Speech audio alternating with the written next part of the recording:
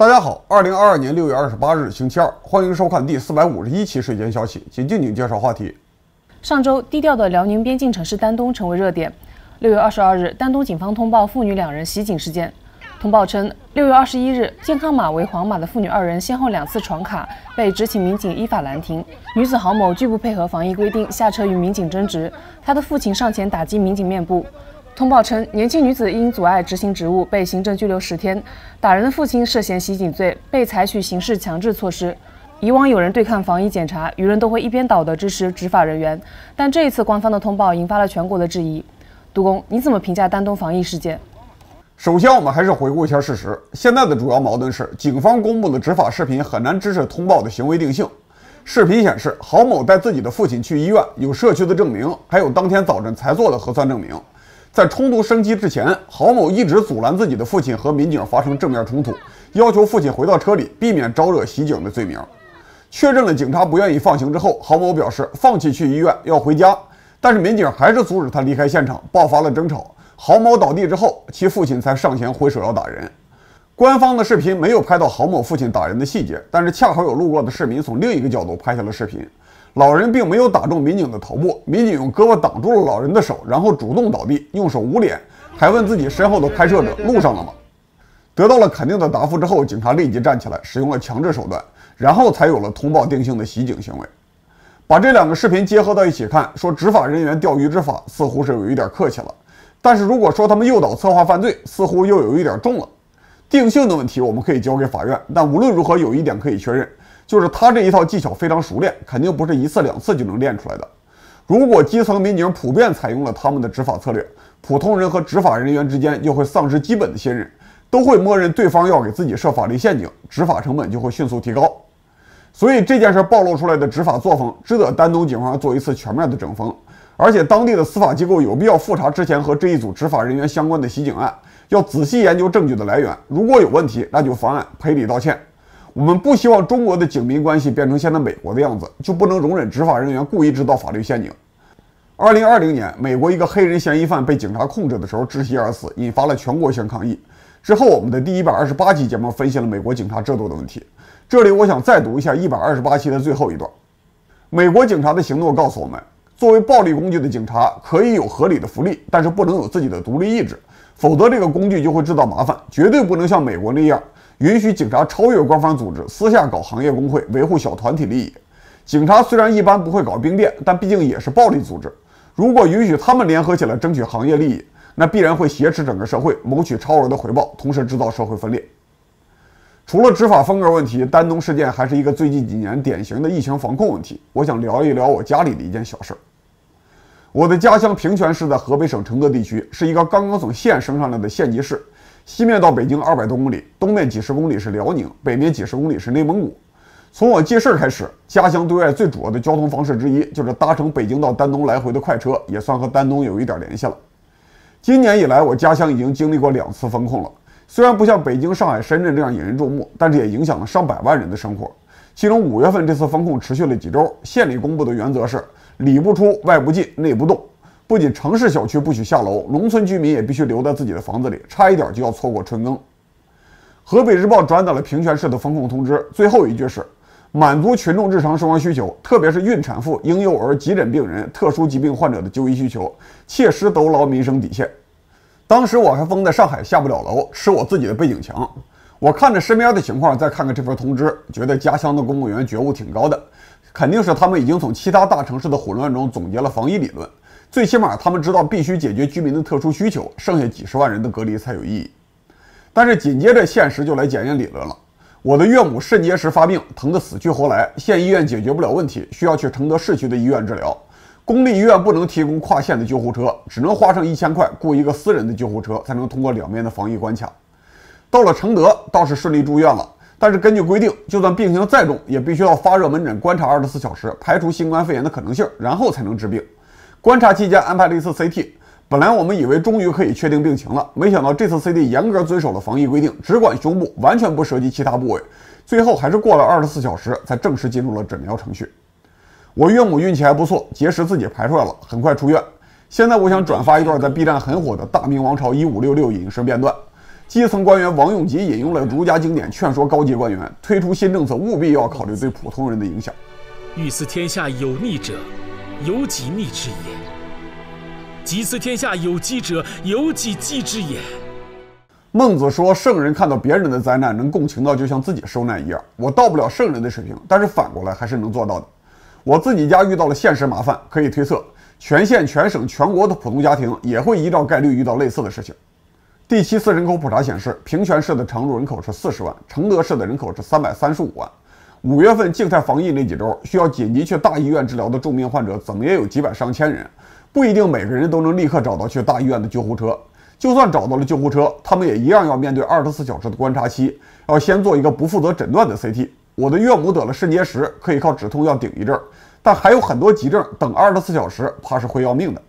从丹东的新闻看，从我身边的事实来看，基层僵化执行防疫规定是常态，居民看病难也是常态。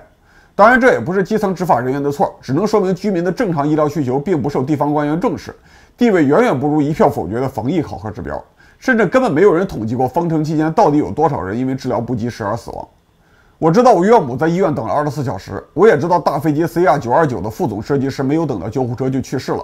能上新闻的还有五月二十九日北京顺义区三十二岁的心脏病人被幺二零急救系统拖死，但是全国加起来有多少类似的病例，没人知道。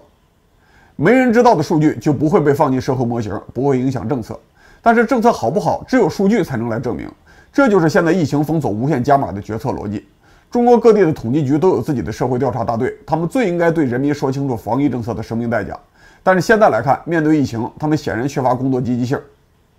中国最近几年有一个坏现象，就是关于社会政策的比较，往往会被简化成两三种立场做选择题，甚至是判断题。比如说，现在关于防疫政策松紧的讨论，只要讨论超过十条，就会看到共存派、清零派的说法，而争论双方也总是会在生命和经济哪个重要的问题上做哲学讨论，仿佛是一个垃圾导演需要用五千块的经费拍一部电影，所以只能设计几个最极端的角色坐在一起谈判，上来就把自己的底牌摆出来，五分钟谈不成就拔刀，你死我活。实际上，我们更需要讨论一些定量的操作方式，比如说让拿到诊断书和转诊证明的人直接通过关卡，到底增加了多少传染的可能性？压缩病人转院之后的二十四小时疫情观察期，变成十二小时，看看可以拯救多少人的生命。要求所有的小区都只留一个门出入，会不会因为人流汇集而增加交叉感染的风险？是不是应该找一批小区开两个门分别出入，测算风险是增加还是降低？这些信息都应该由国家出面搜集，再分发给各地作为参考数据，避免各地从零开始拍脑袋制定防疫政策。随着数据的增多，国家完全可以拿出一套标准公式，根据温度、建筑形态、医疗水平和居民的平均年龄。确定各地最适合的防疫隔离模式，把疫情期间的死亡数据降到最低，而不是仅仅要求疫情感染的数字最低。现在各地确定的隔离期和观察期都是以二十四小时为单位，没有任何地方尝试把期限准确到十二小时或者六小时。这说明各地的防疫模式缺乏优化，没人考虑各种指标的合理性，只有在一票否决的压力下层层加码。更进一步说，保人命和保经济根本是个伪问题，因为人命和经济之间有非常清晰的换算方式。经济学教科书上最喜欢的例子，就是在同样的劳动强度下，矿工要比其他蓝领工人的平均收入高，原因是危险性有差异。用他们的预期收入差异去除以死亡率之差，就能比较准确地估算普通人对生命的估值。反过来说，我们有了钱，也可以用比较确定的价格购买生命。很多论文都分析过医疗投入和寿命的关系，在技术水平一定的背景下，富人和富裕地区就是能够多花钱买到更多的生命。商业医疗保险的价格也能反映普通人的生命估值。用钱来衡量生命，听起来让人很不舒服。但只有把生命算出合理的价格，我们才能评价现有的政策是否合理，才能找到经济和防疫的平衡点，最大限度地保护中国人的生命。过去几十年，中国人均预期寿命不断提高，靠的就是发展经济，不断增加医疗投入。如果经济停滞影响了医疗开支，无论有没有疫情，中国人的生命都会从另一个方向受损失。二零二零年第一轮复工的时候，我就发现东南沿海城市比较积极复工，甚至是市长去火车站去接农民工。原因是劳动力流动起来，的确会给本地带来更多的 GDP 和税收。而内地的城市就不愿意配合沿海城市的复工，宁可采取更保守的出行管制，不在乎居民能不能拿着合法证明到火车站。因为内地劳动力出来打工，不会提高本地的 GDP 和税收，把他们多关几天，不会直接影响本地官员的政绩。丹东恰好就属于花钱主要靠上级转移支付的地方，所以在防疫政策上肯定倾向于加码执行。但是转移支付最终也来自沿海发达地区的税收，所以中央政府应该出面平衡各地的防疫政策，既能保证人民的安全，也要保证发达地区能够稳定交税。这个平衡点应该是通过各地统计数据算出来的，不是通过哲学上的立场推理出来的。所以统计局应该尽早告诉全国人民，防疫期间到底有多少人因为得不到正常的医疗服务而死，以及日常的体检频率下降对总的死亡率有什么影响。丹东这个东北小城最主要的特点就是和朝鲜的城市只隔一条鸭绿江，是中国和朝鲜交流的最主要通道。抗美援朝纪念馆就设在丹东市区。五月二十五日，丹东宣布中考推迟到七月二十六日举行，全境进入了封控状态。六月十三日，丹东已经逐步放开了一部分封控，全市大多数区域都是一般防范区，但是沿着边境地区有提级防范区。防疫模式说明，这一轮丹东的疫情源头指向对岸朝鲜。六月二十二日，诱导性的袭警事件曝光之后，丹东很快又下调了防范级别。六月二十四日，发出了全市有序恢复生产生活秩序的通知。通知特别要求不接触江水、不游泳。临江居民在雾霾天和雨天不开窗，这说明最危险的东西就是来自于朝鲜的水。朝鲜的人均 GDP 只有几百美元，而且国内没有什么流动人口，也没有繁荣的商业物流。按照前面提出的规律，朝鲜应该是最不在乎经济、最敢于实行严厉防疫措施的地区。疫情爆发以来，朝鲜甚至多次彻底切断了外贸，避免接触病毒。一度，朝鲜被称为全世界唯一没有疫情的国家。但是，朝鲜最近几个月的事实证明，放弃经济发展的绝对严防死守没有什么意义。四月末，朝鲜官方间接承认了疫情，到了五月二十五日就宣布有三百多万的发烧病例。中国要最大限度保护自己的人民，就必须严肃收集防疫期间的各种数据，拿出量化的防疫方案，在经济和防疫之间找到平衡点。在疫情刚刚爆发的二零二零年一月三十一日，我在第七十一期节目引用过一个新闻：全国都紧缺口罩，但是中国三大卫生材料基地之一的河南省长垣市怎么也增加不了口罩产量了。原因是材料不足，上下游企业和物流企业停工，产业链被打断了。周边的地方优先抓防疫指标，只关心本地居民上街能不能买到口罩，但都不愿意承担本地先复工的责任，都希望是其他地区先恢复物流、恢复交通，给自己生产口罩。结果就是谁也买不到口罩。二零二零年的例子说明，用防疫指标对地方政府搞一票否决的考核，放任地方随便加码隔离政策，最终反而会导致防疫体系整体崩塌，迫使居民和病毒共存。所以，如果真的有纯粹的清零派和共存派，这两派的立场应该相差很少，甚至就是同一批人。如果我们不希望社会政策是一根棍子，只能在两端之间做判断题，就应该早一点给人命算出合理的价格，尤其是要用同样的价格去衡量新冠病毒制造的死亡和其他因素制造的死亡。这样才能制定最合理的防疫政策，保护最多的中国人。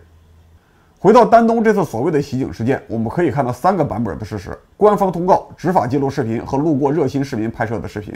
这可以让我们得出差距很大的结论。所以，执法记录仪的视频很重要，但是人民群众自己拍摄视频监督也很重要。二零二二年是短视频时代了，普通人也具备很丰富的导演知识和编辑能力。以往就有很多人用剪辑过的视频引导舆论，这次也有表演能力很强的执法人员充分利用了规则和技术工具，给人民挖了法律陷阱，而且他们很明显是熟能生巧，已经身经百战了。所以在公共场合的执法行动中，就应该允许双方都摄影存档，也允许其他人拍摄，避免其中一方只展示部分信息，用剪辑过的内容去碰瓷。如果执法人员以保密或者其他理由为借口阻止在场的人拍摄，我们有充分的理由怀疑事后发布的信息不完整。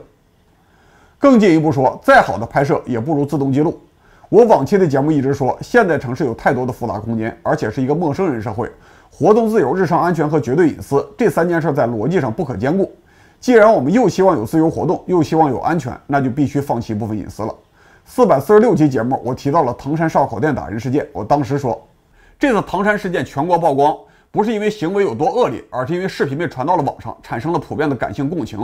如果只是靠记者的文字描述，我估计影响力连现在的千分之一都没有。如果让记录数据的单位可以决定如何使用数据，不仅有数据滥用的危险，还有封锁数据的危险。这次唐山的案件视频并不是从正常途径流出来的，这说明受害者自己并不能要求政府必须向公众展示现场视频。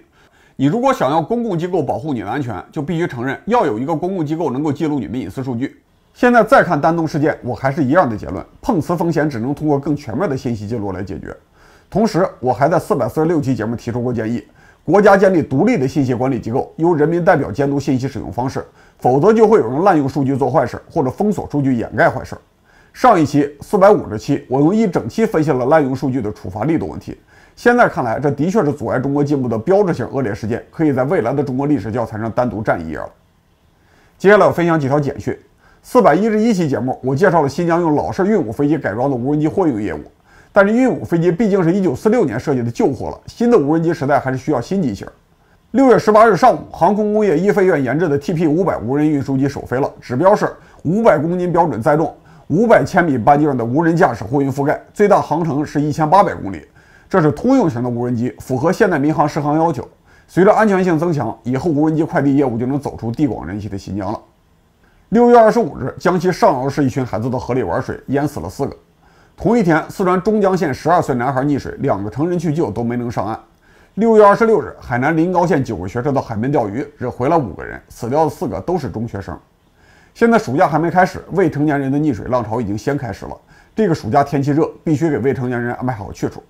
这里我要表扬一下武汉的政策，全市四十一所游泳场馆向全市中小学生提供了二十二天的免费游泳服务，陪同的家长也只是象征性收费两元。但是反过来说，强制家长陪同还是限制了学生自己去游泳的自由，还是可能导致学生到野外去玩水。暑假带孩子玩的任务不能留给要上班的家长，必须由国家派专职人员管起来。好，四百五十一期睡前消息到此结束，文字内容随后会发在睡前消息编辑部的公众号，欢迎转发。我们周三我们的直播间再见。